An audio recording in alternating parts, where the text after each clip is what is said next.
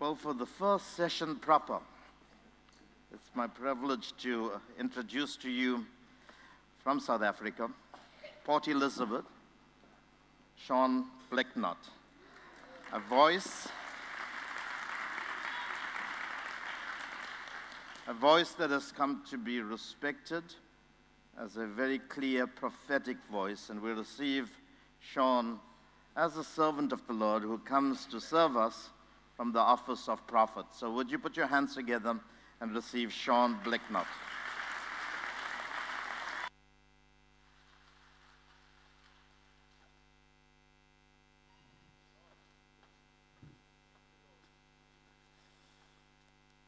Well, uh, good morning.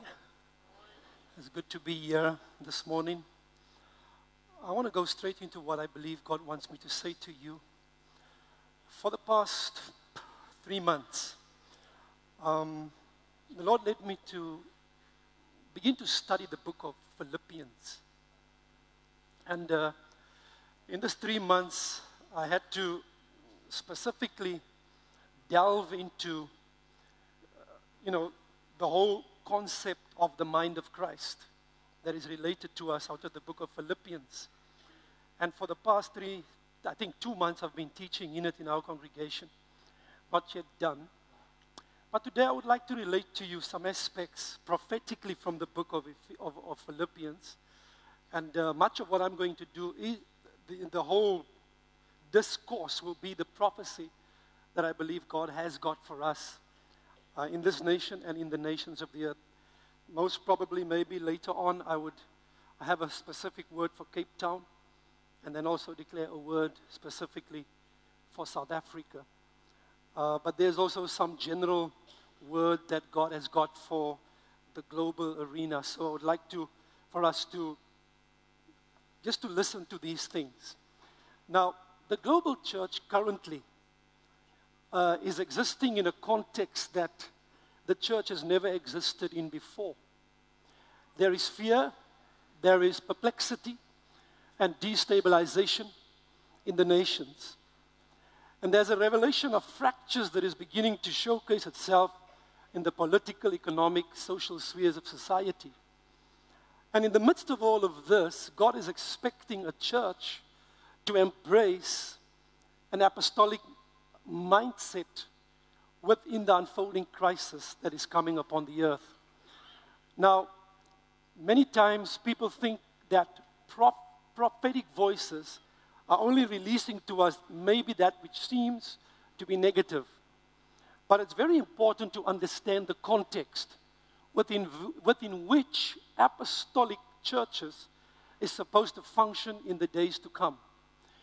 The earth is not going to get better. The issues surrounding the nations is not going to get better. But there will be dual movements in the earth as we are approaching the end of time or the time of the end dual movements in that, like Isaiah was declaring, see darkness and thick darkness is upon the earth, but upon you my light is, is rising. So rise, shine, for your light has come, and the glory of the Lord has risen upon you. In other words, there will be this dual movement within the earth of light versus darkness. And we are going to see these movements increase in crisis moments that will visit different regions of the earth. I believe that that the prophetic intent of God is very clear for our nation, this nation called South Africa, that there is a, a time frame that God has placed upon this particular nation, and the Lord is going to, in the days to come, begin to deal harshly with those that are standing, especially in the political arena, against what God wants to do. Some of these men are even going to die.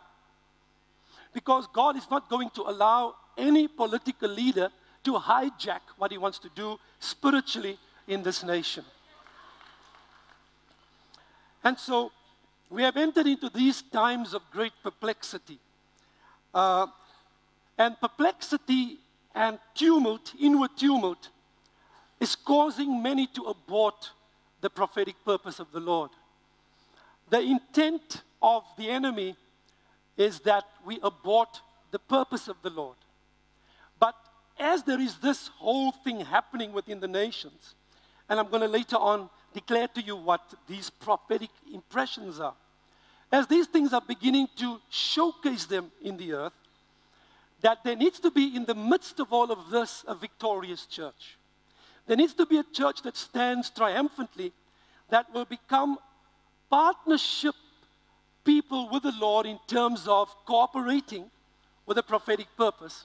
Not a church that will hyperventilate at what we are seeing on the horizon of human life, but a church that understands that we are, have already entered into the victory of Christ that the battle is already won, but that we are going to go through this with the Lord. So if you look at uh, the stone that was cut out from the mountain, the stone of the kingdom, and the stone of Christ, that that stone hit the statue and it caused the statue to be broken. But God was always placing the church in the midst of Babylon. And so Babylon is going to become a very important facet that needs to be studied. We will have to understand the dynamics concerning the Daniel people or the Daniel church. There are certain individuals that needs to be studied right now. Daniel, Noah, Moses, Ezekiel, Elijah. We have, we have had studies on Elijah, but we will have to look at these individuals because, and even Job, because we know that these men knew how to stand alone against the, the grain of what society was throwing at it in a day of crisis. There's, for instance, in the day of Noah, the Bible says that the inclination of the hearts of men were continually given to commit evil. And in the midst of evil, the word evil there does not reflect just a wholesale departure from the Lord in terms of uh, gross um, uh uh, uh, uh, things that are happening within society, but it's a people that has once knew the Lord, but has gone off track and has gone one minute dimension out of alignment from the righteousness of Christ. So in this season, it is not just good enough for us to have some truth, but to have truth that is exact. We got to build exactly in the season. So, but the Bible says, but Noah, Noah found favor in the sight of the Lord. Why? Because he was a man that was righteous, blameless, he feared God, and he walked with God. These are fundamental issues that the church must come into, a church that walk in the arena of great exception. Exception to the rule of what contradicts the holy nature of God. So there needs to be a church in the earth that must know how to navigate in the lonely arena of standing against the stream of transactions that will come against it from the arena of that which is filth and corrupt. And so there is a church being built by God, and I don't think that this church has really arisen in the earth yet, in its full scale as yet. Because the, the church currently is still based on an entertainment uh, mindset and a bless me mentality. So there's there are great building going on, but when the storm comes, the storm is going to reveal what is the true church and what is the false church. We can no longer build on the principle of a bless me mentality. We got to come into building correctly and we need to be related to apostolic sources that are the builders of God in the season. So we can no longer be having church and we are disconnected from apostolic ministry. The first ministry that Jesus identified in building his church is the apostolic. When he said, I am building my church, you cannot build without an apostolic source. Building and the apostolic goes together. So when he said, I'm building my church, he, he was actually saying, the first anointing I will bring into building my church is the anointing of the apostolic. It's not so much about the man that is called an apostle, but has got to do with an apostolic dimension that God wants to build into the lives and the hearts of God's people. I know that God is using apostolic figures in the earth, and we are going to look at one of them in the book of Ephesians, uh, sorry, in the book of Philippians, in, the, in, in, in, in, in terms of Paul. There are apostolic fathers here. And it's vital that God is now going to showcase what is true apostolic and what is false apostolic streams. Because I want to show you a little bit later on what dimensions apostolically needs to be built in the earth that will, that will regulate in our mindset what true apostolic function is all about. Now, in the midst of all this, the church must embrace apostolic patterns. Listen to the words apostolic patterns and apostolic example. Paul said, Follow my example, or he said, Imitate me as I am imitating Christ. In other words, the whole principle of biblical imitation is going to become a reality in the days to come. Not emulation, but imitation. Emulation is the work of the flesh. It is you connecting yourself to a relevant apostolic voice, you drawing from apostolic uh, principles and the doctrine, but and you teach it as your own, but you never give to that apostolic source uh, the relevant uh, uh, uh, uh, clarity unto that person in terms of honoring that apostolic source. So you are emulating, you are copycatting what God is doing, if you can say it like that. You are a copycat. You're building things. You come to conferences like this. You gather all the information and you begin to build it into your church, but you are not connected to an apostolic fathering source. Now, I want to declare this to you today that that season is over. That God is going to bring forth, uh, he's, gonna, he's going to open up everything that is concealed. I don't want to run ahead of myself. All of what I'm saying is prophetic. So I want you to pick up the things that I'm saying to you today. That we are no longer going, going to build on emulation, but on imitation. Imitation flows by a heart connection with an apostolic fathering source, recognizing the corporality of the brotherhood, coming together in corporate streams, connecting to a fathering source, and brothers coming to together, joining their hearts in commitment in a church without walls. God wants a church without walls. Soon, we are going to no longer talk about one another in terms of our title, but we are going to just be brothers, functioning in a particular office. Like Paul talked to you about today, how do we operate as being a doulos for God. Even though we, we have heard in the past that we are sons of God by position, that we are the social continuance of our Father, our Heavenly Father in the earth, by not emulating Him, but by imitating Him through apostolic mediums that God has given into our lives.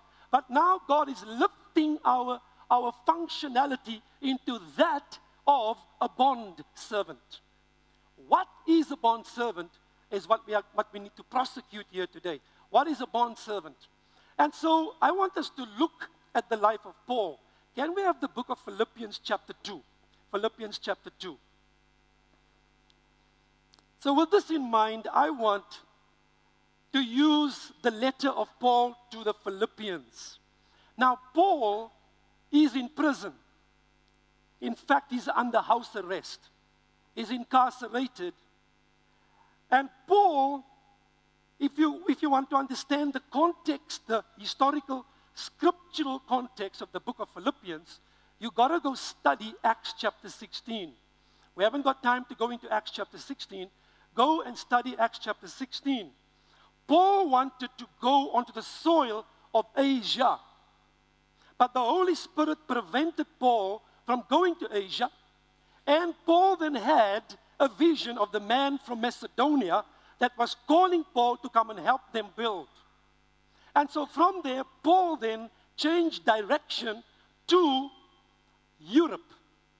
And so Paul is going to Europe and there is going to establish this church of Philippi. Now, the Philippian church uh, today in modern, in modern Europe would be somewhere in the north of Greece, whereas Corinth would be in the southern regions of Greece, and you have the church at Ephesus somewhere in Turkey, right? So you have this triangle when you look at it. You have the Philippian church, the Corinthian church, and you have the Ephesian church, and you have this triangle of ministry for the apostle. Paul now is establishing historically, is going for the first time on the soil of Europe, and he's going to, and he's going to found the first apostolic church in Europe. And Paul is going there, and because in Philippi used to be a, a Greek um, city, but now it is part of the Macedonian province, which the Romans have conquered. And so now you have a lot of slaves that has been created by Rome in the Philippian uh, uh, city because now the people are under Roman bondage. And what the emperor used to also do, Octavian at that time, what he did was to impose upon the, the Greek generals that they just conquered, they sent them all into Philippi and gave them land. And so causing them to remain faithful to the throne of Rome and to the emperor. And so we have in the Philippian colony, it's a colony of Rome that is thousands of mile, miles away. But when you look at the Philippian colony, you will see that in that colony, you have both Greeks and you have both Roman soldiers that, are, that have been given the opportunity to live in that area. And so, what is happening in that particular area? Paul now, for the first time, goes to, to Philippi, and the first convert that Paul made in the Philippian uh, uh, church or on the continent of Europe was Lydia, a woman. Because in Philippi, there were only a few Jews there. I need to go quickly through this history. There were only a few Jews there. And uh, they say historically that in order for you to, to have, according to rabbinical law, if you wanted to have and establish a Jewish synagogue, that you had to be 10 and more humans to start something like that. But because there were few Jews in Philippi, it was the custom of the, of the, the woman to go to the river, and there Paul met Lydia, and there he, she became the first convert on the soil of Europe.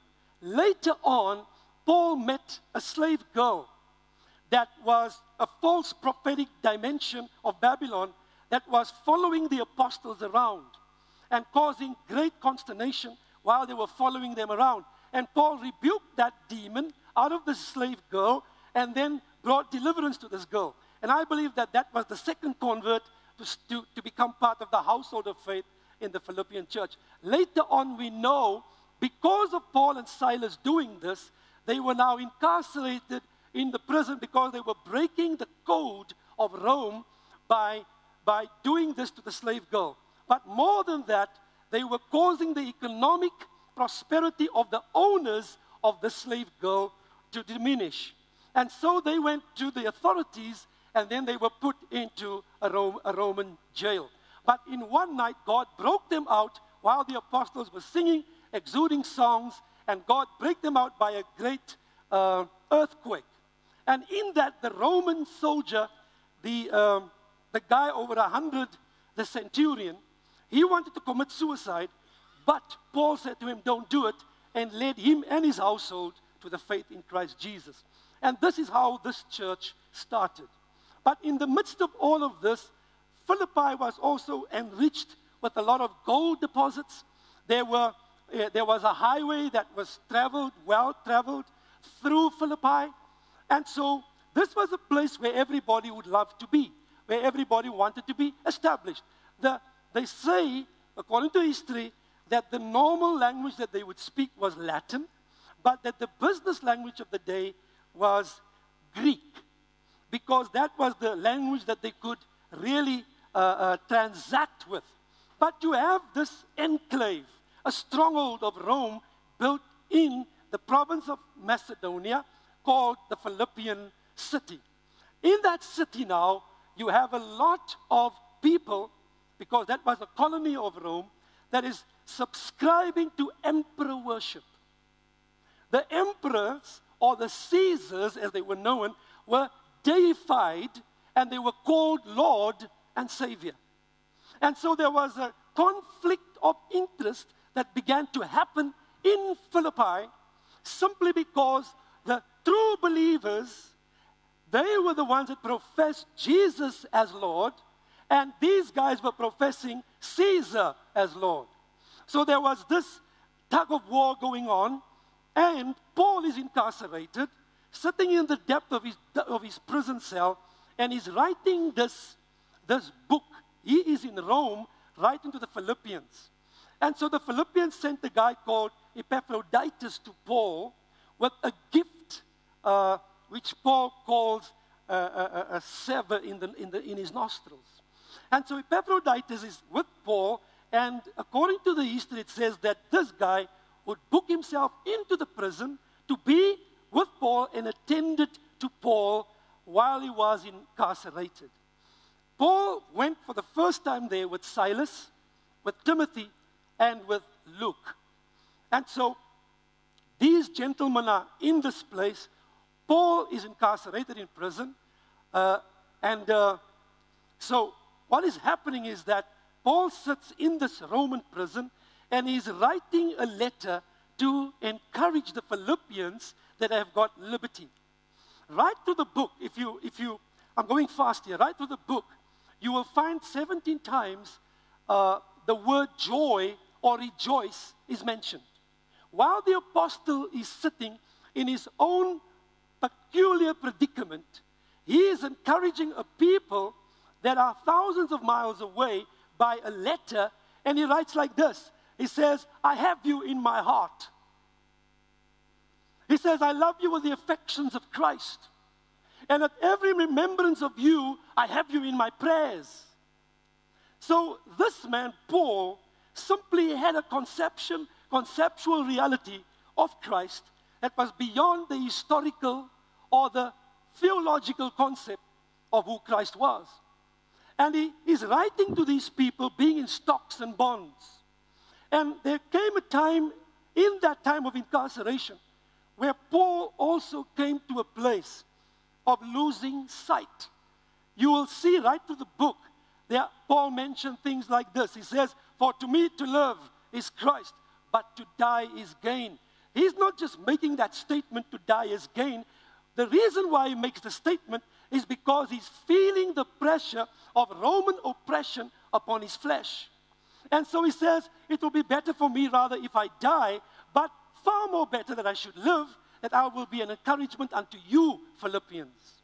And so Paul has got these people in his heart.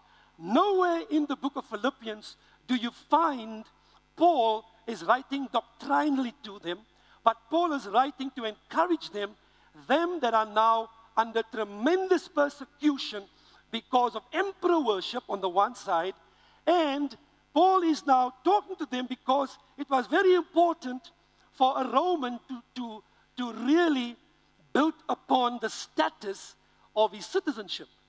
That's why Paul would make statements like that. Your citizenship is in heaven, from where we are awaiting a Savior. And so he's encouraging them, and I want you to see the context before I speak about this the context, the historical context, why Paul is making certain statements. He's not just making the statements in a vacuum, he's making it out of deep concern for the Philippian believer. Now, what is vital for us today is that, like Paul as an apostolic type, writing a letter to people under tremendous pressure, while he himself is under pressure. I believe that we are maneuvering into a season where pressure is going to come upon the earth. The pressure that is going to come is going to reveal who you are and how you have built. That's what Jesus is saying in Matthew chapter 7 when he compares the two builders of the house. He says, Let me show you a man that hear these words of mine and put them into practice. It's like a man that builds his house on a rock. And when the storms come and beat against the house, that house will not fall, it will remain. But let me show you a man that hear these words of mine and do not put them into practice. Now, you see, there are two builders here. They are both building, and building is an apostolic dimension. So, if you say you are building and not just operating in a bless me entertainment zone of church, but you are really building, but you can build false patterns into the hearts of God's people if you only tell them, hear the truth, but don't live the truth. The Pharisees operated in a false dimension of building. They would say and do not do. And, and, and Jesus said to them, You must do what they say, but don't listen to them in, in, and, and don't follow them in, in their lifestyle. So, in other words, what is a Pharisee position?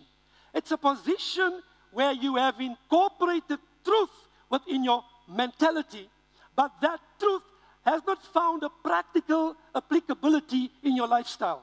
In other words, you know truth that you do not live. You are a Pharisee. In this season, God is going to showcase who are the Pharisees in this move. We can no longer just come to places like this and gather information and then gather more information and have showcased the information but the information never find applicability in a living example upon the face of the earth. So this dimension of the apostolic that God is after is a dimension where there's a manifestation of the doctrine in the sons of God. God wants the doctrine to be manifested now. We can no longer say and do not do. Often say to impress others because of their knowledge of the scriptures. They are self actualizing, they are self absorbed. They know too much and they do too little. Better do the 1% that you know and not just you know the 100% that you know. So it's important and imperative. These are imperatives for us in this, in this season. And so I want us to reflect a little bit about on Paul. So it is very important to extract apostolic wisdom as we journey toward our expected end.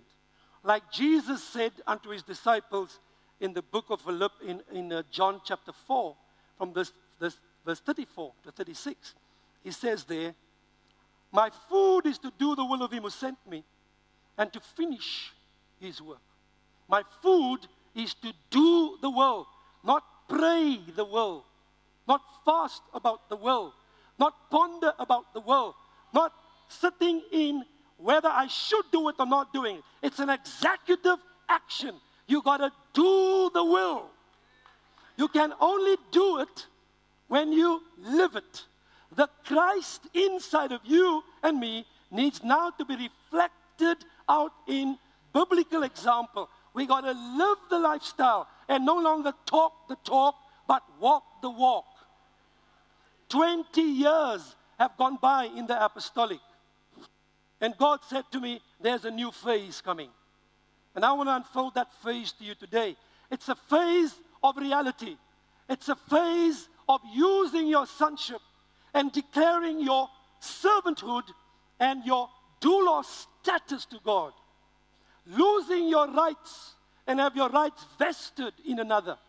Losing your rights to, to exist the way that you have predetermined how you will operate in the earth, but now bringing your will under the authority of another and bonding your life, as it were, to that person, losing your rights in the, in, in the experience of it, and showcasing that your ear is pierced.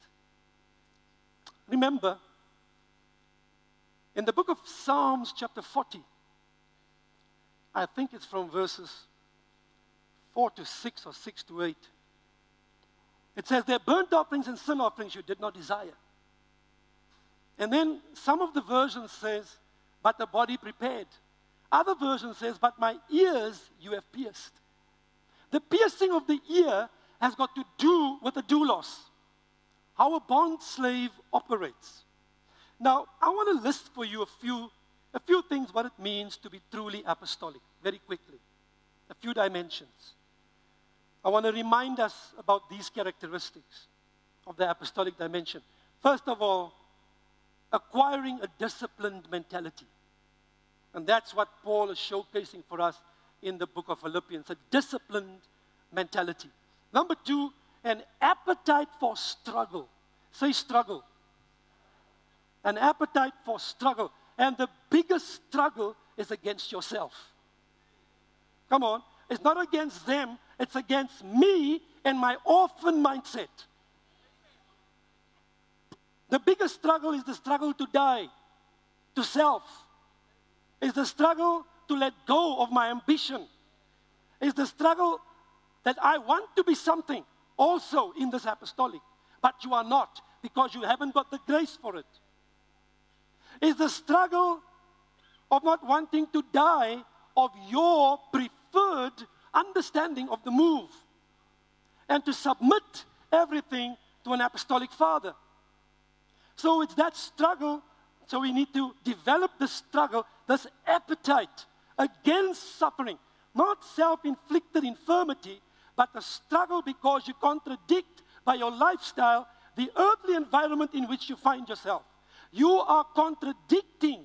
You are the excellent example of contradiction against environmental influence. You are not living by the culture of the earth. You are living by the culture of another dimension, the heavenly order. It is from there where you are awaiting a Savior. And it's, it is from there where your lowly body will be transformed into His glorious body. There is a holy expectation that something is about to happen, that there needs to be a transformation in our lives. But we need to settle the issue of where my citizenship is. Where is your citizenship? Is it on the earth? Yes, you live in Cape Town. You live where you are within your geographical area, but you are a citizen of heaven. In other words, your perspective needs to change. We need to have a, a changed perspective about where we live from. We are not living out from our geographical location called Cape Town. Even though Cape Town is a geographical place in South Africa, but we need to begin to see beyond the, the geographics of Cape Town or Johannesburg or Pretoria, but we got to connect into the geographics of the Spirit to understand God's dimension of movement within those areas. Another thing that is imperative is that we must not shift ancient landmarks. Listen, that's a warning. We must not shift ancient landmarks. What does that mean? It means that the landmarks that were given to us through generational transference by fathers begetting sons and sons walking in imitation of their fathers, becoming fathers themselves, and transmitting it through a line of descent to the next generation. That these landmarks, these are ancient landmarks that the forefathers have committed unto us through covenantal joining of hearts. These landmarks must not be shifted. We are contemporaries at best with Abraham, Isaac, and Jacob. So we are not building anything that is brand new. That is what Jesus is saying in John chapter 4. He says that you are entering into the labors of those that has gone before you. Now you become, as sons, the completion of the cycle of reality. You must complete what the forefathers have started. So you are a continuum from what they have started, continue to build on what they have laid as foundations. So we are building something that is original, something credible, something that comes from the heavenly order. We are reconstructing in the earth. The apostolic is not something new. The apostolic always existed in the heart of God. The authentic, the original, the credible. Our God is credible. Our God is original. Our God is not a fake. So if you study God, you see that He's totally apostolic. In fact, He is the great apostle that sits in session right now over the affairs of the universe. People, people talk about the intercessory ministry of Jesus. I talk about the sessionary work of Christ. It is the work of his mediator, mediate, his mediatory function and his high priestly function that we need to begin to look at and understand. Fully man, fully God, standing between the two. He is a man, fully God, fully man. This that we are talking about. So, another thing that is apostolic there must be a vision for the global harvest, understanding divine order in the house of God, issues of obedience, deliberately setting yourself under the one sent into your life and the word that the one bring to you, operating in the code of honor. We have heard these things before. I'm reminding us this, about this again this morning. Operating the code of honor, not doing your own thing, not running away, submitting to what God is doing through your life. Even when the pressure hits you, you don't run away out of covenant commitment. If you have made covenants, you stay connected in those covenants. There are many going to run away in this last days. That's going to reconnect somewhere else because the rubber is going to meet the road now. Things are going to hot up in the earth as God is bringing increasing crisis upon the church. The increase of crisis is to bring two fundamental things a great separation and the internal purification of the hearts and the minds of God's people. God wants a pure church. God wants the church as it existed in the book of Acts. He wants to bring that church back in greater splendor. Please, God is not after numbers, God is after accuracy. God is after righteousness. God is after justice.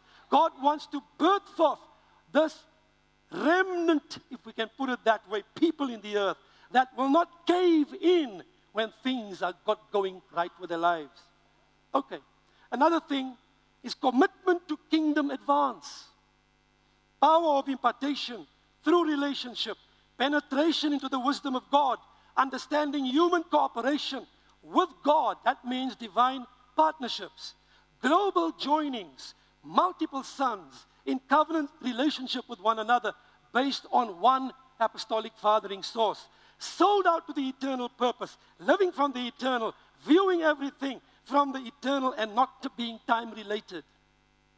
One of the things that God's going to burn up in the season is the holy place. You know, Moses had an outer court, a holy place, and a most holy place.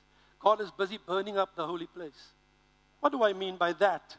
The holy place can be described as the place where we operate in reason, logic, and self evaluation. It's the place where our minds are still too operative.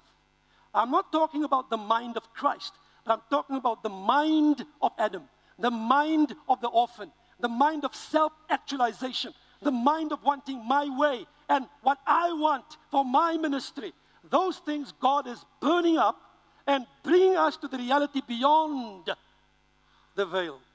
The veil of our own flesh, the veil of our own carnality must be broken clear through so that the spiritual reality of who Christ is can begin to shine forth through our lives. It's no longer just me, my, and I, but it's got to do with the corporate reality of the living Christ. Okay. Keep those thoughts in your mind. The power to break through in the spirit realm for territorial expansion. The ability to strip, listen to this, the ability to strip prophetic promises of their futuristic dimension and bring them into operation now. In other words, the prophetic is not going to operate as God saying that to happen 10 years from now, but apostolic ministry can go into the future of what the prophecy is saying and build it now so that we can live by it in the present. In that sense, prophetic ministry is changing. It is no longer just a personal prophecy, but it's building prophets, building alongside apostolic sources. So that the two works hand in glove, that we are bringing prophetic reality, and the apostles build it dimensionally into the hearts and the minds of God's people. So we are using Apostle Paul's life to access apostolic patterns for living in times of crisis. As we willfully adopt these examples and patterns presented to us by apostolic figures, like Paul, we become the beneficiaries of apostolic wisdom forged in the crucible of personal suffering. Personal suffering.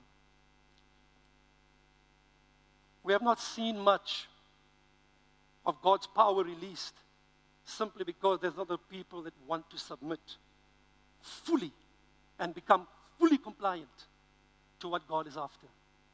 I believe the shift is coming. I don't know why God is always working with me first. This past four months was hell for me. As I had to submit to dealings that I've never ever faced before in my life.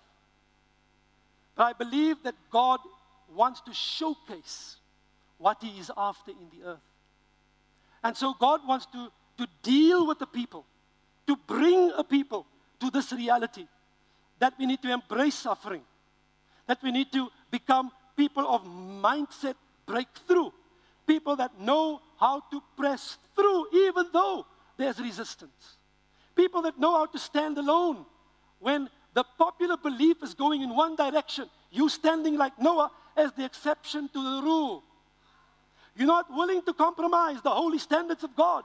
Even though the entire earth is against you, you stand alone, like Jesus showed us. He was led like a lamb to the slaughter. He opened not his mouth. He was a man of sorrows, acquainted with grief, and we hid, as it were, our faces from him. There were no comeliness or beauty in him that we should desire him. And God laid upon him the iniquity of us all. He did not open his mouth. He did not squeal like a pig to the cross. He closed his mouth. He submitted under the authority of another and allowed the work of the Father to be completed in him on behalf of the people. That's what it means to be a bond slave. You're living your life for the benefit of another. You are not here to build your own ministry. You are not, if you are still building your own ministry, you are in the wrong place, sir. That has got nothing to do with my ministry and your ministry and my church and your church. You are going to go up against the one whose name is called jealous. He's a jealous God. There's only one that possesses a church, and his name is the Lord Jesus Christ. No man possesses a church. Yes, God has made us bond slaves unto him for his people. We are not here to, to pull rank and file, but we are here to serve. The greatest joy for any person in the kingdom is to serve your master. To serve your master.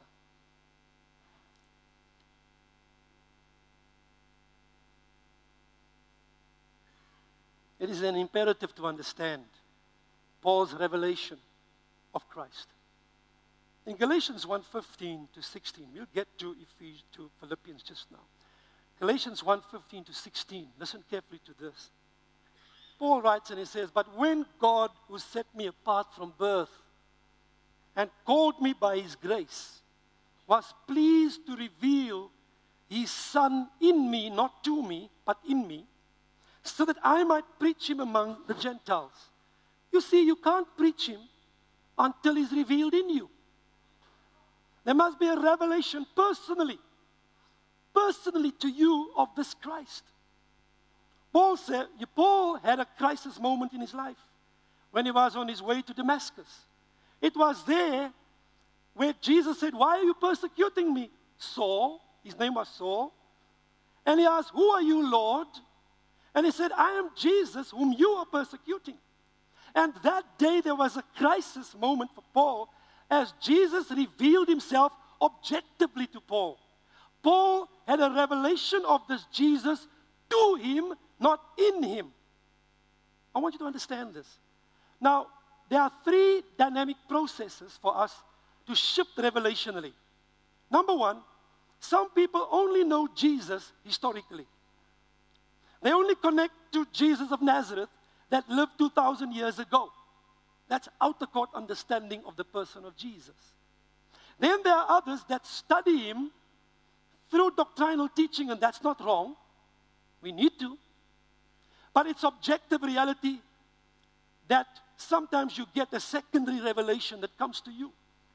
But there is the presentation of Christ spiritually, subjectively in your spirit. As you are intimately engaging Him, He reveals Himself to you. But that revelation is not absent of you being joined to an apostolic source. Very important. So many people, listen carefully, another shift that is coming is the following that for too long, and, it's, and what we have done was good up until now, we have been reflecting on the earthly ministry of Jesus. We looked at his incarnation, which is right. We looked at his humiliation. We looked at his death, his burial, and his resurrection. But resurrection truths are transitional truths. Now God is saying we got to begin to study this Jesus, not just in terms of his humiliation and the name of his humiliation, which is Jesus, but we need to now shift through, through resurrection into enthronement truths. Listen carefully to me. Let me explain what I mean. If we are going to operate out from the throne of God, then we need to understand the current, ongoing, present function of the Christ. What is he doing currently? The same Jesus, Peter, on the day of Pentecost said, Whom you crucified, God has made him both Lord and Christ. In other words, we cannot just share with people about his incarnation, his humiliation, and his crucifixion, and his death, and his burial, his burial and his resurrection anymore, but we also need to lift the people's gaze into the heavenly sphere of the ministry of Jesus Christ. We got to show them ascension truths. We got to show them enthronement truths. We got to show them coronation truths. We got to show them glorification truths and his stationary work that he's doing currently in the heavens. That's another shift that is coming. So we need to take note of what God is saying to us. There is a shift coming, and this shift the Lord showed me that not many, there are many that are earth dwellers, but not many are dwelling in the heavens. Whenever persecution comes, listen, whenever difficulty comes, what we need most is a new revelation of the greatness of the Lord Jesus Christ. We don't need more of anything else, but we need to understand the universality, the supremacy, and the centrality of Christ. This is what Paul is doing in the Philippian epistle. He writes to them four chapters. He says in the first chapter, everything about what Paul is writing is Christ centered. He writes in the first epistle, he says, For to me to live is Christ. In other words, he reveals in the first chapter Christ as his life. In the second chapter, he begins to talk about Christ being his goal. He says it like this. He says, for, he says that one thing I do, forgetting what is behind me, but straining myself to take a hold of that for which God has taken a hold of me in Christ Jesus, that I may gain the prize. My goal is to gain the prize, even though I'm sitting in a dungeon, even though I'm sitting in, in a prison of Rome. But I want, um, I, my mindset is not earthly. I'm not connecting you, Philippians, to an earthly perspective of the Christ. I want you to see Him as your goal. I want you to see Him as your life. And then Paul begins to write and he says, Christ is my strength. He talks about Christ being his life, Christ being his goal, Christ being his strength. And when you study the whole epistle of the Ephesians, he consistently connects their minds to Christ. The Christocentricity that flows out of apostolic, an apostolic mind. This man is sitting waiting to be beheaded. He's sitting waiting for the end of his life. And he's still penning this epistle to a people that is encouraging. I have you in my heart. I love you with the affections of Christ. At every occasion when I think of you and bring you into my remembrance, I remember you in my prayers. I don't want you, Philippians, to pray for me. For to me, to live is Christ, and to die is gain. I don't want you to sit wondering about my life. I know how to exist, even in a physical prison, but I am not imprisoned. Because in other epistles, in all the prison epistles, that the, the Ephesians, the Colossians, and Philemon, Paul writes and he says it like this I, Paul, the prisoner of Christ. In other words, I'm incarcerated in the physical chains of the Roman government, but I don't see myself as incarcerated by Rome. I am a bond slave to Christ.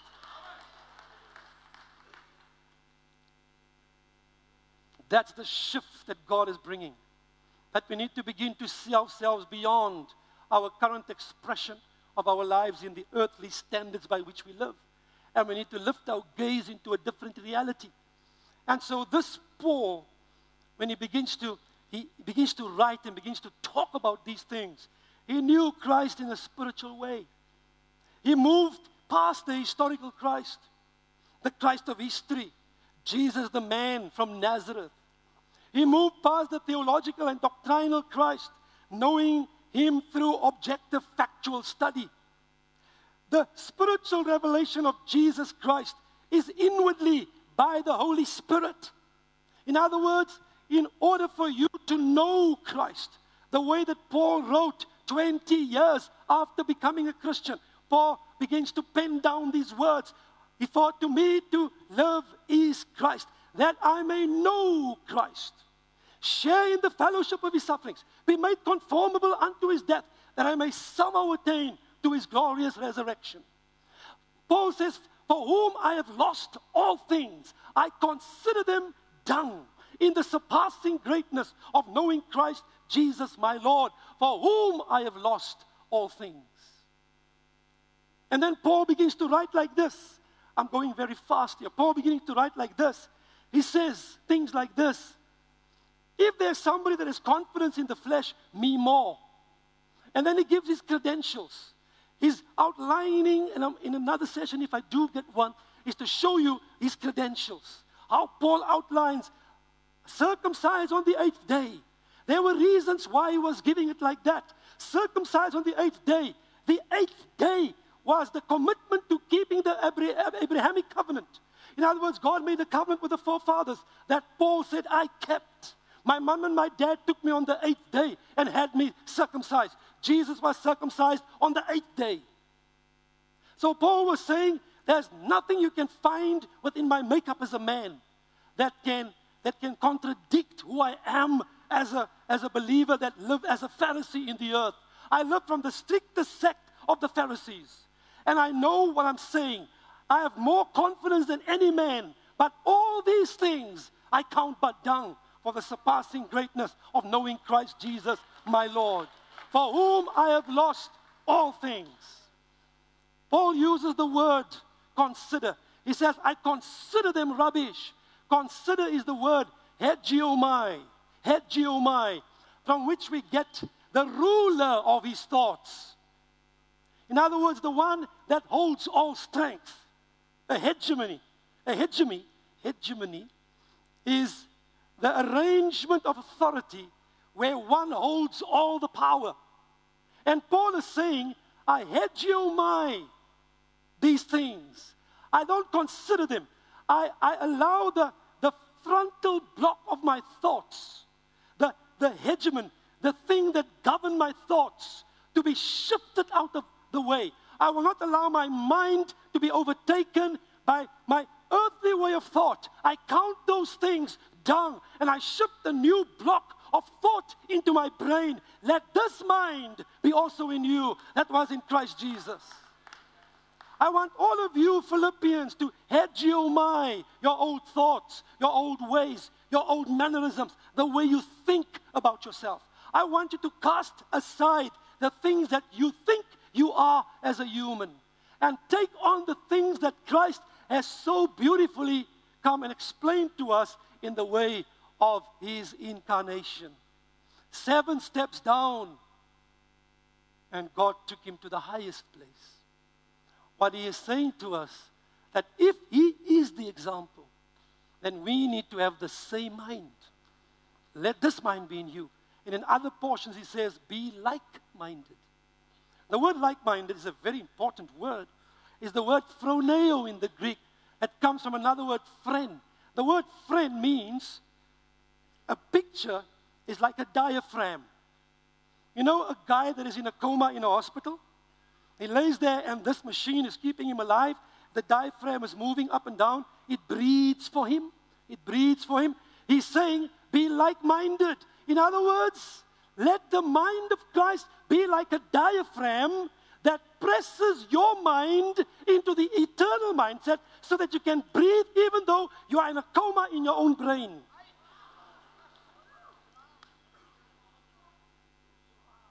Because no longer has it got to do with just changing your mind.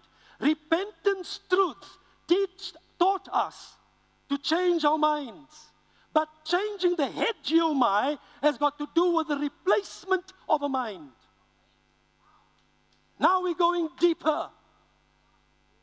We want the mind of Christ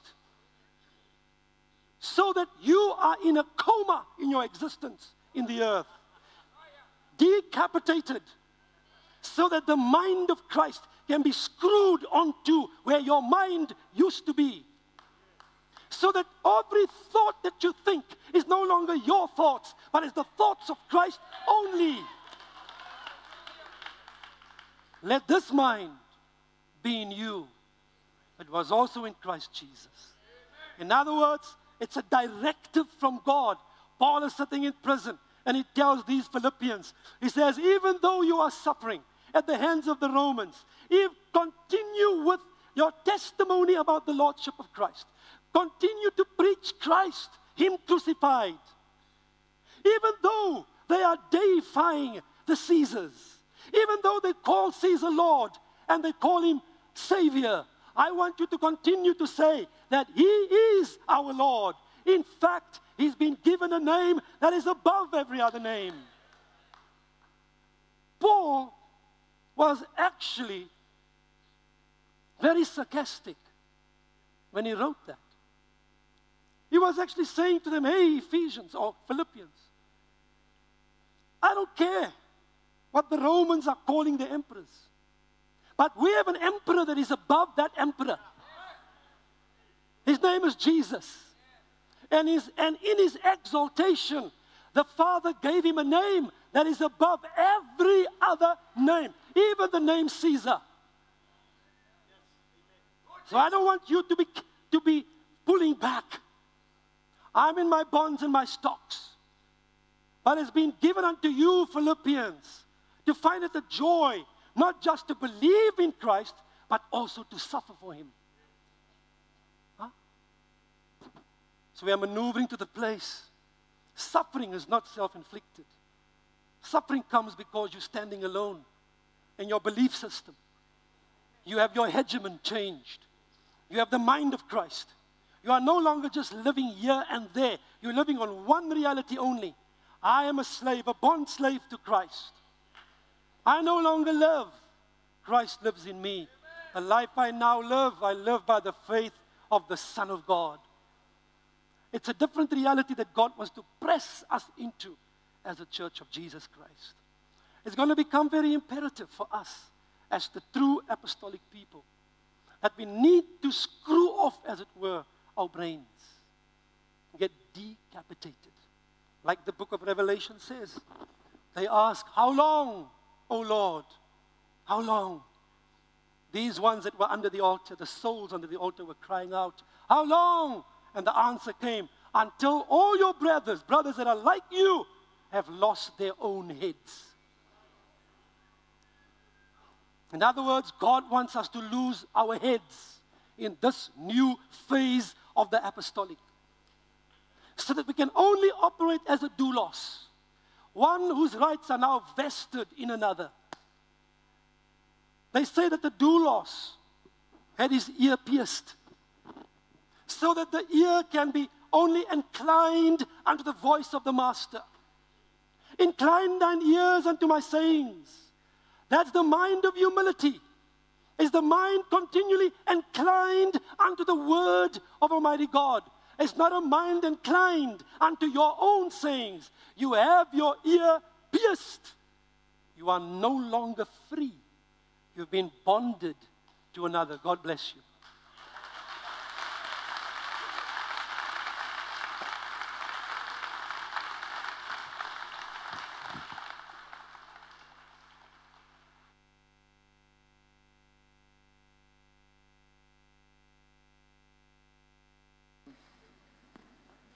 Testing. Wow. Are you ready, ready to lose your lives? One of the fundamentals of this residency